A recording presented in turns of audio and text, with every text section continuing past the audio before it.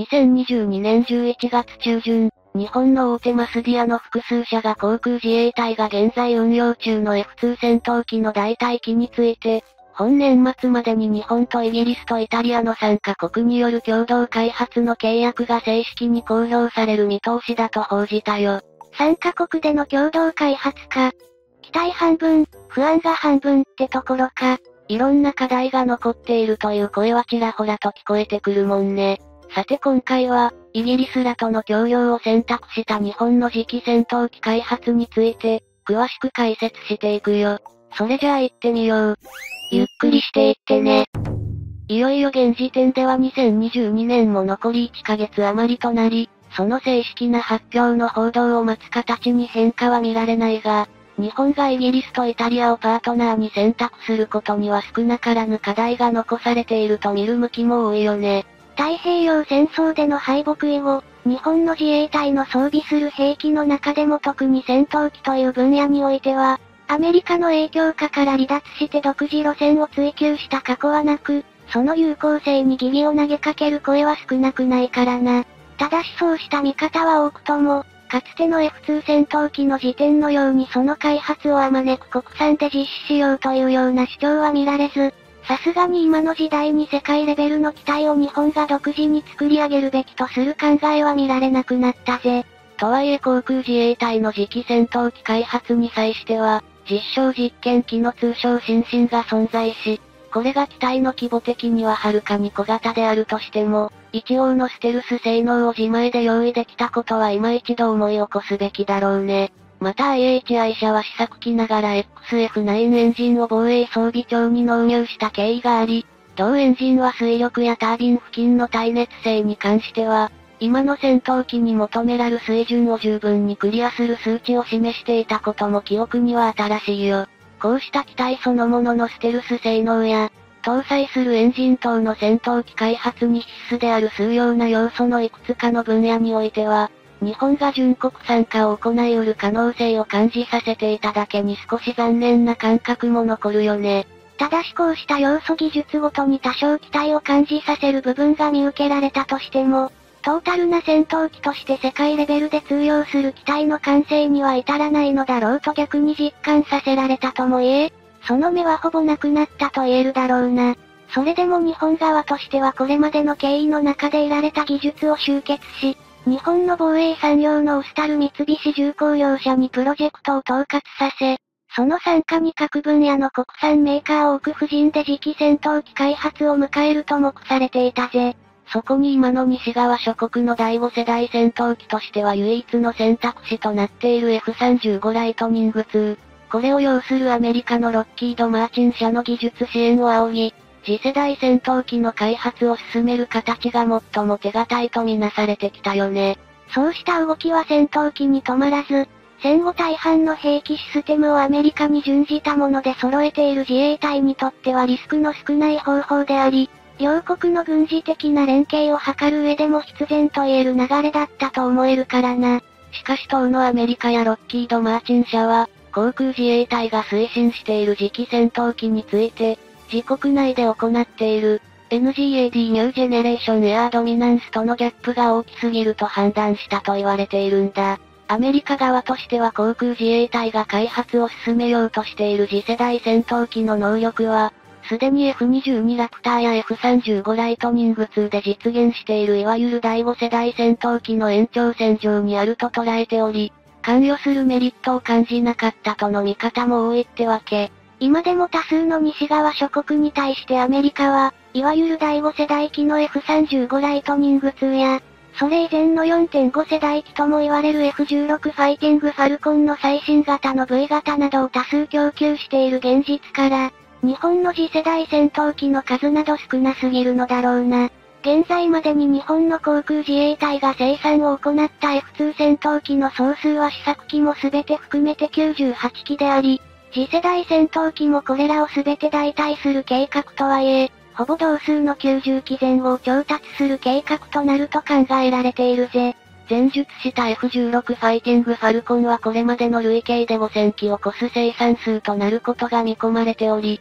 これに比すれば日本の次世代戦闘機の数などわずか2%にも満たない少なさであることは事実だもんね。こうしたボリュームという工業製品の生産にあたっての効率化という側面から見た場合の重要な点に加えて、アメリカは NGAD ニュージェネレーションエアドミナンスにて、新たな概念を模索していることも影響していると思われるよ。未だアメリカ側から具体的な NGAD ニュージェネレーションエアドミナンスの開発状況は発表されてはいないもの。現時点で最新鋭の戦闘機たる F35 ライトニング2を含め、その位置づけは大きく変化すると目されているんだ。最も大きな違いとしては、近年の F16 ファイティングファルコンや、F15 イーグル等の当初はいわゆる第4世代と言われた戦闘機たちが、搭載するアビオニクスや並走システムの乾燥によって近代化を進めるような手法は採用しないとされる点だね。今やこうした戦闘機たちは繰り返される近代化改修によって、リリース時とは比較にならない能力の向上を続けてはいるものの、40年以上にもなる長期的なスパンで運用を行うことはメンテナンスコストを膨大に増加させているからな。そのためアメリカでは NGAD ニュージェネレーションエアードミナンスについては、もっと短いスパンで新型機と入れ替えを行うことを前提としメンテナンスコストを低減させることで、トータルのコストを下げる手法を目標にしているとされるよ。こうした戦闘機開発をめぐるコンセプトの一大転換をアメリカは起としていると考えて良さそうだけど、現行の F35 ライトニング2を見ても電子機器の絶えざるアップデートで、能力の向上を行っている状態を本当に覆せるのかは未知数だね。アメリカ側では軍の交換がすでに NGAD ニュージェネレーションエアードミナンスは、初飛行を終えているとコメントは行っているものの、視覚的にこれを裏付けるエビデンスは出されておらず、判断はできかねるな。さて日本の次世代戦闘機開発に話を戻せば、日本が今の時代に一国で純国産の戦闘機を手掛けるよりもリスクは少なく済むとは思えるが、アメリカのロッキード・マーチン社等からの技術支援と比較して有効なのかはまだ不透明ってところかな。イギリスでは BAE システムズ社を中核とするテンペスト計画を先行させており、同社はドイツ、イタリア、スペインの4カ国で開発されたユーロファイター台風の実績を持つものの、同機はいわゆる第4世代戦闘機だから、そのため巷では第6世代戦闘機に該当すると言われてきたテンペスト計画は当然未知の領域であり、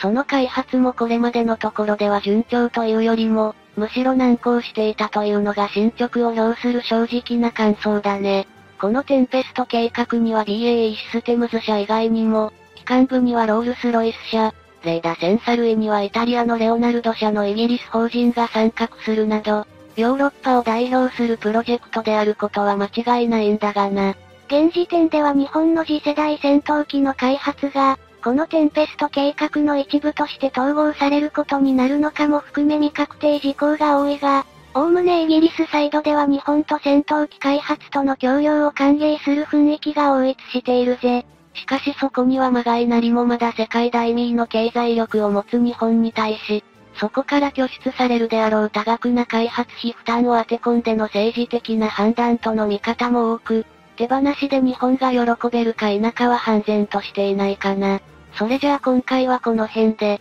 よかったら、チャンネル登録してね。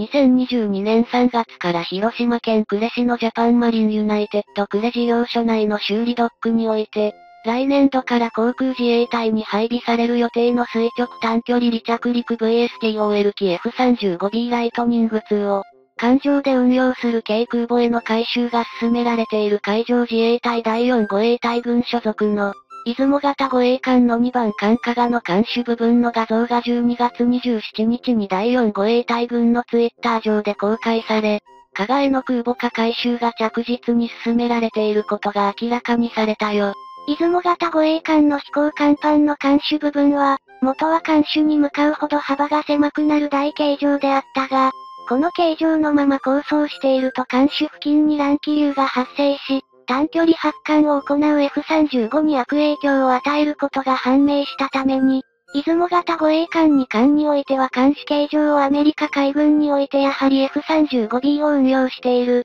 強襲揚陸艦と同じように四角形になるように回収されていたものだな。懸念される問題は全て潰しておかないといけないからね。完璧な空母として日本の海を守ってもらわないと。岸田総理は税金で防衛費を取ろうとしているけど、自民党は選挙で勝てないよな。さて今回は空母化回収中の海上自衛隊護衛艦加賀艦首部分の画像が公開されたことについて、詳しく解説していくよ。それじゃあ行ってみよう。ゆっくりしていってね。公表された画像を見ると、艦首部分の飛行甲板が横に張り出して四角形の形状となっているほか、さらに飛行甲板上の右舷艦首側にあった近接航空防御火器システムシウスの高性能 20mm 機関砲ファランクスが撤去されていることも判別できるね。このファランクスが甲板拡張のために一時的に撤去されたのか、あるいは発艦時に邪魔となることを見越して環境に近い箇所に移動されたのか、そのことについての情報はないが、飛行甲板上の艦首部分では F35B の発艦時に障害物となる可能性があり危険であるため、移動されたと考えるのが妥当であろうと見られているよ。出雲型護衛艦の空母化海治計画は、まず一番艦の出雲から始められ、2020年年度令和2年度に出雲の回収費として31億円が計上され、F35B の発着艦を可能にするための最小限の回収が行われ、飛行甲板の4番5番スポットヘリコプター発着艦用スポット周辺は F35B が垂直着艦することが想定されていたため、その際に甲板に吹き付けられる高温のジェット噴流に耐えるだけの耐熱塗装が施されたほか、飛行甲板には縦に赤と白が交互に塗られたセーフパーキングラインが引かれたが、これはラインより左舷側が滑走路で、右舷側が中期スペースエプロンとする目安なんだ。飛行甲板の滑走路となる艦尾から艦首の部分には、滑走ラインとなる白黄色のトラムラインが縦に引かれ、それと交差するように引かれた2本のラインは、短距離発艦する際に F35B の水力ノズルが下に向ける目安のショートテイクオフラインが右舷にある環境の前端あたりに引かれ、その250フィート先には発艦ポイントとなるバウラインが引かれているぜ。出雲にはこれらの他に飛行甲板に誘導灯が設置されるなどして、F35B が初着艦可能となる最低限の回収が施され、2021年10月5日にアメリカ海兵隊岩国基地所属の F35B2 機が、四国沖の太平洋上において出雲への発着艦試験を成功させて、太平洋戦争以降日本の海上自衛隊の護衛艦に初めて固定翼機が発着艦するという記念すべき日となったってわけ。出雲への今後の回収予定は2024年に2回目の回収が行われることになっていて、今回加賀に施された監視を台形から四角形へ形状変更する工事などが予定されており、出雲については2026年度に空母化回収が終了する予定とされているね。そして、2番艦の香川当初の計画では、2021年令和3年3月からの定期点検で全ての空母化回収を一度に行う予定であったが、当初の計画では艦内の格納庫などの動線などについて問題があることが発覚したため、艦内の回収工事を先延ばしすることになり、今回の第一次回収は2023年令和5年に終わり、その後着艦誘導装置や温度計測装置の設置や飛行甲板上の標識投資の回収のほか、衛星通信装置なども回収が加えられて、最終的に軽空母への返信が完了するのは2027年度令和8年度の定期検査時とされているんだ。この着艦誘導装置は、アメリカ海軍とレイセオン社が共同開発した、JPALS ジョイントプリシジョンアプローチランディングシステムで、両艦への搭載が予定されているよ。JPALS って ?JPALS は GPS 衛星信号と管制広報システム INS を利用して、F35B やオスプレイといった海上を飛行する航空機器を着艦させるために自動的に、そして安全かつ正確に誘導する全天候型のシステムであり、防衛省は2023年度令和4年度予算ではまず出雲にのみ JPALS を搭載して、先に紹介したように加賀の分は後年度に取得する方針としているんだ。出雲型護衛艦の空母化回収予算について、日本政府は2022年12月23日に、対前年比で26.3%増となる過去最大の6兆8219億円もの2023年度防衛予算案を閣議決定し、それまで2023年度令和4年度防衛予算における出雲型護衛艦の回収費用として請求されていた、出雲の着艦誘導装置の先行取得費用36億円、アメリカ軍からの技術支援経費12億円、加賀の航空管制室の視認性を高めるための管制室ガラス窓変更などの工事経費、13億円など2022年の夏に出されていた概算要求に対して16億円が上積みされたよ。一方、軽空母となった後の出雲型護衛艦に搭載されて運用される F35B については、2023年度令和5年度予算において、8機の取得費として1435億円が計上されていて、こちらもまた2022年夏の概算要求では6機を取得する予定とされていたものが、さらに2機分が上乗せされた形となっているぜ。2022年度令和5年度予算では4機を取得するとして510億円を計上していて、2021年度令和4年度予算では2機の取得費259億円、2020年度令和3年度予算では6機の取得費793億円をそれぞれ計上したため、来年度と合わせると20機の F35B を航空自衛隊が保有することとなり、防衛省においては最終的に42機の F35B を導入する計画だな。これら導入された42機によって航空隊が新設され、国内での地上配備先として宮崎県新富町にある航空自衛隊ニュータバル基地が計画されていて、アメリカで航空自衛隊パイロットの教育が行われた後、2024年度令和6年度から配備が開始される予定となっているね。空母化改修を終えた後の出雲型護衛艦へ搭載できる F35B の機数はそれぞれ20機程度とみられ、飛行甲板上への搭載を最大に見積もっても18機がせいぜいであろうと見られていて、このことから多額の費用をかけて2隻を空母に回収しても、中国海軍の空母1隻の搭載機数に満たないとして意味がないとする軍事専門家が存在しているのであるが、これは単純に搭載機数だけを見ただけの短絡的な見方なんだって。海上自衛隊の仮想敵である中国海軍は、現時点で2隻の大型空母遼寧と3頭を収益させ、3隻目の福建が先日浸水して間もなく収益すると見られていて、ここ数年はミサイル防空巡洋艦などとアメリカ海軍のような空母打撃群を編成して、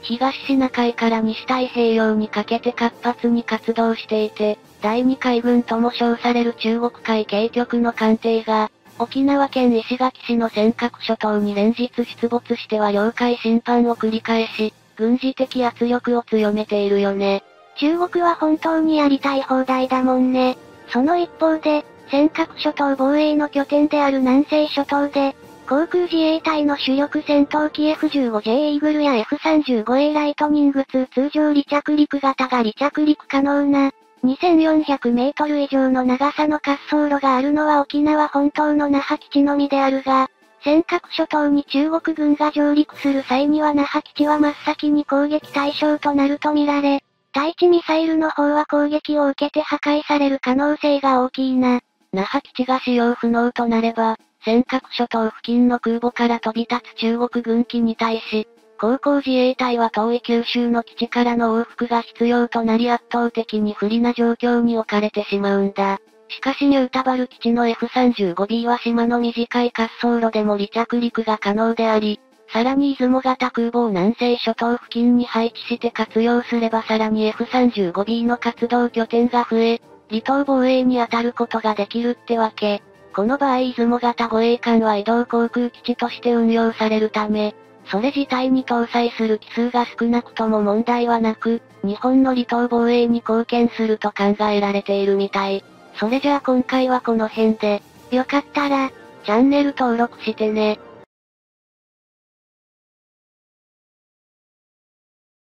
現在の航空自衛隊において運用中の F2 戦闘機は、四方を広い領海や排他的経済水域に囲まれている日本の地理的な特性を反映し、自国で保有する戦闘機の中でも最も多い対艦攻撃兵装を搭載可能な機体として知られているよね。F2 戦闘機は主翼の先端部に2箇所、主翼の下部に8箇所、胴体下に1箇所の合計11箇所に兵装の剣下が可能であるが、対艦攻撃時にはここに最大4発の空対艦ミサイルを装備して任務に従事することが想定されているな。この空対艦ミサイル4発を装備する場合でも F2 戦闘機は同時に空対空ミサイル2発も携行が可能なため、最低限のセルフディフェンス能力も兼ね備えており、作戦行動の幅を広げることに貢献した機体となっているぜ。幅広い作戦に対応できる万能型の戦闘機ってわけだね。さて今回は、日本の F2 戦闘機を代替する次期戦闘機開発問題について、詳しく解説していくよ。それじゃあ行ってみよう。ゆっくりしていってね。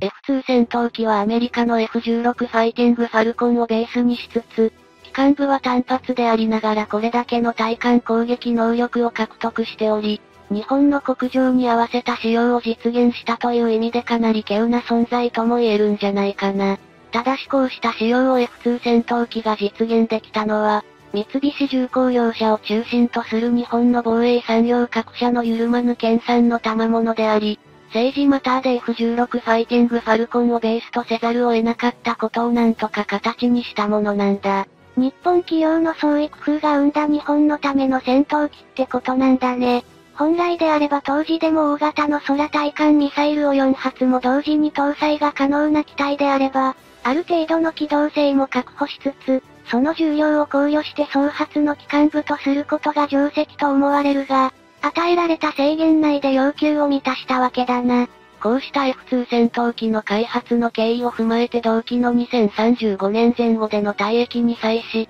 それを代替すべき次世代戦闘機についても、完成後に日本側の意向に沿った自由度の高い改修が行えることが大きなテーマとして掲げられてきたよ。そうした意向を織り込みながらも日本は太平洋戦争後の戦闘機開発が全てそうであったように、やはりアメリカと共同開発を行うことを前提に次期戦闘機への取り組みを進めており、その方向が確実とみなされてきたんだ。あくまで日本側が開発の主導権を有すること、完成後の改修などにおいても任意にそれを行えることを目指しつつ、いわゆる第5世代戦闘機で西側諸国のディファクトスタンダードとなった F35 ライトニング2を擁する、ロッキード・マーチン社が技術支援先の本命と見られてきたみたい。しかしアメリカ側やロッキード・マーチン社側とはこうした日本サイドの要望が最終的に噛み合わず、次世代戦闘機開発をめぐっては戦後初めてアメリカ以外の国との共同開発を行うことが濃厚と報じられるように変化したね。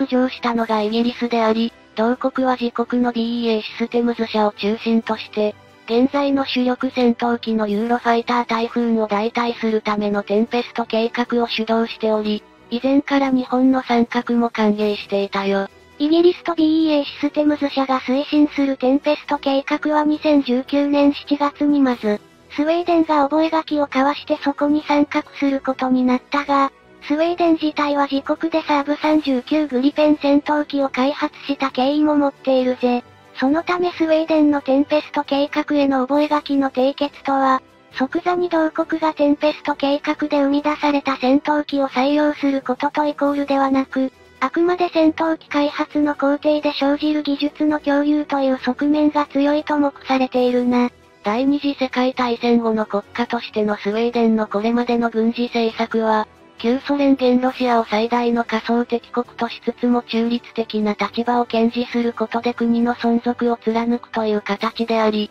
それゆえに戦闘機を国産化してきた経緯があるんだ。その意味ではスウェーデンは日本と同じく専守防衛を基本に据えた軍事政策を行ってきたと言えるんだけど、あえて NATO への加盟や国外からの兵器調達を行わないことで旧ソ連現ロシアを刺激しないようにしてきた点が特殊ではあるよね。日本は自衛隊においてスウェーデンと同じく専守防衛を掲げてはいるものの、国家としてはアメリカと唯一の軍事同盟を締結し、数多くの兵器及びそれらのシステムをアメリカから調達しており、立ち位置としてははっきりと西側であることを標榜しているんだ。しかしスウェーデンがこれまで貫いてきた軍事的な中立の政策も、今年2022年にロシアがウクライナへの軍事侵攻を強行したことで転換点を迎えつつあり、同国がフィンランドと共に NATO へ加盟することはほとんど間違いない動きとなっているみたい。これによってスウェーデンの戦闘機の調達が従来通りにサーブ島の国産路線を継続するのか否かにも注目が集まるが、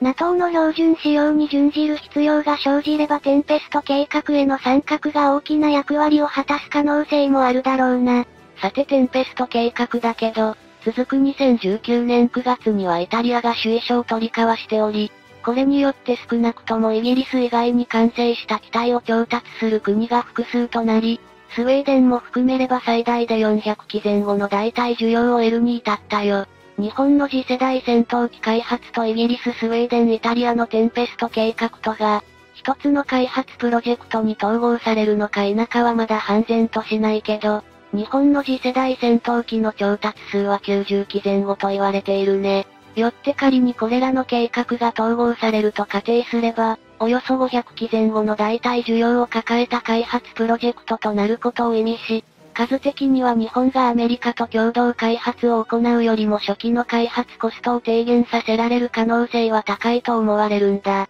日本の次世代戦闘機とイギリスを中心とするテンペスト計画とは、すでに機関部の実証実験機の共同での開発、そしてレーダーシステムの共同での研究を行っているが、すべてを統合した開発となるのか正式発表が待たれる状態だな。ただし若干気になっているのはテンペスト計画自体の進捗が遅延気味の傾向にあると指摘する声があることで、確かに BEA システムズ社を含む参加企業に戦闘機開発のノウハウの蓄積はあれど、いずれもいわゆる第4世代機に限定される点だぜ。第5世代機に対応できるか否かが懸念されてるってことだね。日本はといえば現行の F2 戦闘機の開発に際して、その第4世代機であっても機関部の国産化が果たせなかったわけであるから、イギリスやスウェーデンよりその分野で遅れていることは間違いないため非常に気がかりってわけだね。さらに言えばロシアを最大の仮想敵国とするイギリス等と